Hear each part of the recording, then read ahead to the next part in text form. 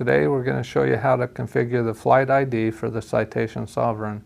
On the radio page of the MCDU, press the right line select button 5 for the transponder twice.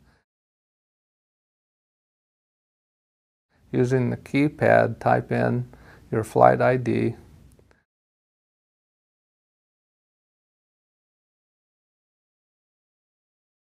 Then press the right line select button number 2, Flight ID, and it will transfer what you entered in the scratch pad into the Flight ID line. Select the radio button and the Flight ID should be on the screen in the center between the TCAS and transponder selections.